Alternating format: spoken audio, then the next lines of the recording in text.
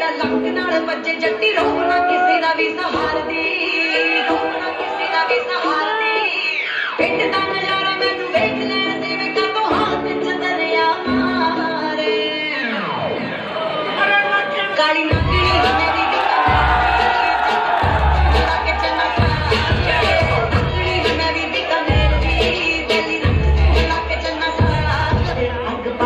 ਦੀ